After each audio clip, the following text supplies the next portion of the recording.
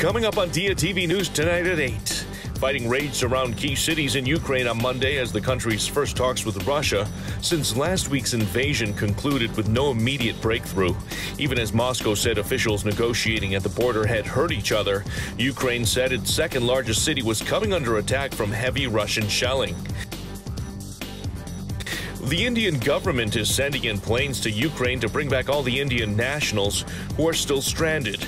More than 4,000 have been evacuated, but by some estimates, close to 15,000 still remain. And Indians around the world are remembering the 20th anniversary of the Godhra tragedy, in which 58 Hindu pilgrims were burnt alive in a train by an Islamist mob. Their names are being read and honored at various ceremonies.